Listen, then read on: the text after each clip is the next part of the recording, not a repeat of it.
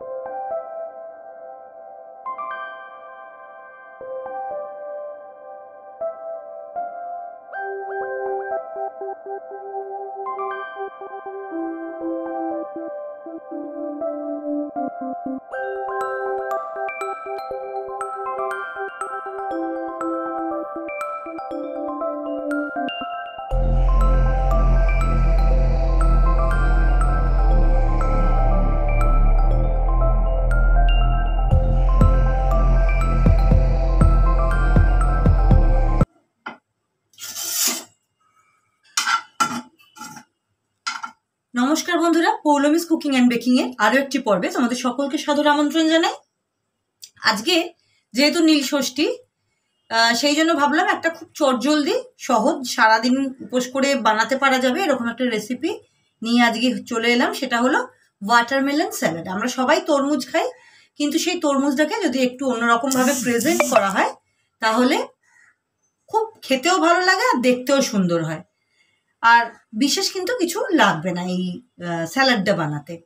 তো চলো তাহলে দেখে নিই আমাদের আজকের এই রেসিপি ওয়াটারমেলন স্যালাড এখানে প্রথমে দেখো আমি তরমুজটাকে দুভাগ করে নিয়েছি।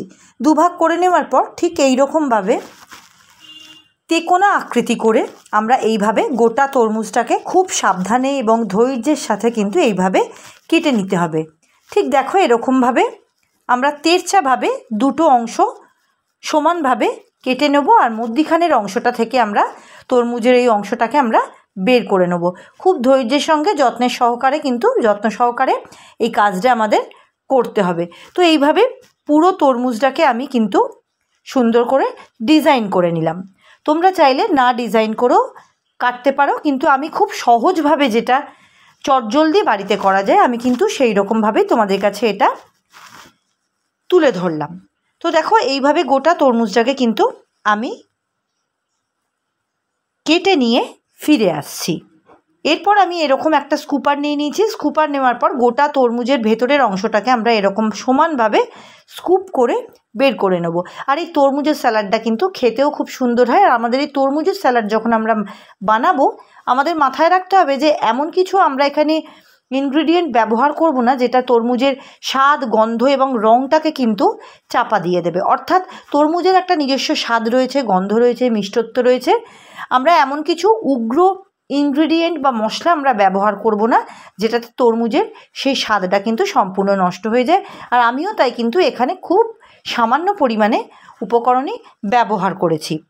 এরপর দেখো আমার গোটা তরমুজটা কিন্তু আমি এইভাবে স্কুপ আউট করে নিয়েছি তরমুজের যে শাঁস শাঁসের অংশটা। এরপর আমি একটা এখানে বাটি নিয়ে নিলাম মিক্সিং বোল মিক্সিং বোলের ভেতর দেখো, আমি এখানে দুটো আলু সেদ্ধ নিয়েছি। আলু সেদ্ধটাকেও কিন্তু আমরা একইভাবে, এরকমভাবে স্কুপ করে নিয়েছি। তোমরা চাইলে এখানে যে কোনো রকমের ছোলা অ্যাড করতে পারো, সেটা কাবলি ছোলা হতে পারে, অথবা কালো যে চানাটা হয় সেই চানা।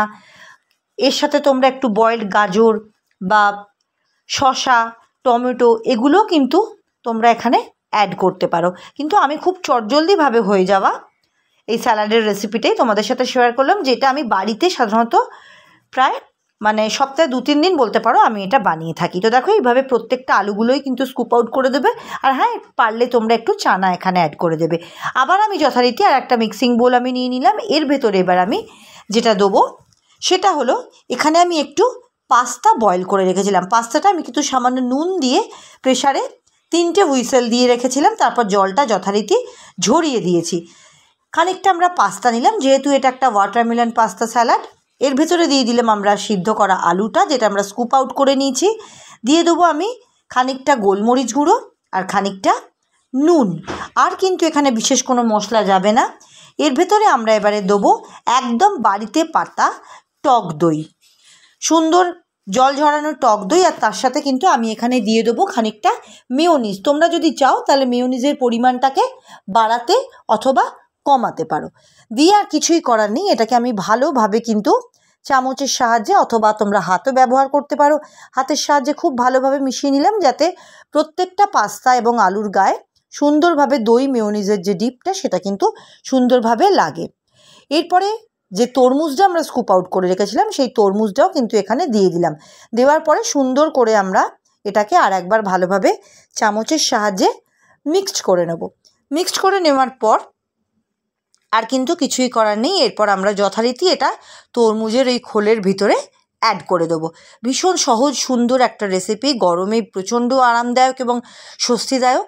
এমনকি বাড়িতে যদি তোমরা কোনো গেস্টকে নিমন্ত্রণ করো? সেক্ষে সেক্ষেত্রেও কিন্তু তোমরা প্লেন শশা টমেটো, পেঁয়াজ না দিয়ে এরকম একটা সুন্দর তরমুজের ভেতরে এরকম একটু ওয়াটারমেলন স্যালাড অ্যাড করে দেবে। সেখানে একটু শশা পেঁয়াজ তোমরা তোমাদের মতো দিয়ে দেবে। আমি যেহেতু আজকে এটা পুজোর দিনে করছি একটা উপোসের রেসিপি বলতে পারো, সেই কারণে আমি এখানে কোনো রকমের আঁশের জিনিস ব্যবহার করলাম না। আর হ্যাঁ অবশ্যই বলে রাখি মেয়োনিজটা কিন্তু আমার এগলেস মেয়োনিজ দেখো, আমার কিন্তু আজকের রেসিপি ওয়াটারমেলন পাস্তা স্যালাড সম্পূর্ণ রেডি এবং এটাকে আমি সুন্দর করে সার্ভ করে দিচ্ছি। ওপর থেকে আমি একটু গোলমরিচ দিলাম। আর যেহেতু ফ্ল্যাক্সিড আমার কিন্তু ভীষণ প্রিয় একটা জিনিস, তোমরা সকলেই জানো ফ্ল্যাক্সিড যেটা আমাদের সাধারণত মেয়েদের জন্য, মেয়েদের শরীরের জন্য ভীষণ উপকার। আমি সেই ফ্ল্যাক্সিড একটু ওপর থেকে ছড়িয়ে দিলাম। আমি যে কোনো স্যালাড রেসিপিতেই কিন্তু একটু ফ্ল্যাক্সিড ব্যবহার করে থাকি। তো আমার আজকের রেসিপি রেডি টু সার্ভ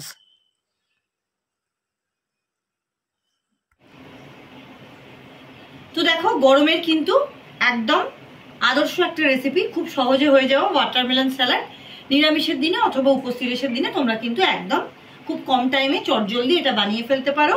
এটিকে ফ্রিজে রেখেও তোমরা ঠান্ডা ঠান্ডা কিন্তু সার্ভ করতে পারো, অথবা ইভিনিং স্ন্যাক্স হিসেবেও তোমরা এটা খেতে পারো। রেসিপিগুলো যদি ভালো লেগে থাকে, অবশ্যই কিন্তু আমার চ্যানেলটি সাবস্ক্রাইব করে আমার চ্যানেলের পাশে থাকার অনুরোধ রইল। দেখা হবে আবার আগামী কোনো রেসিপির সাথে।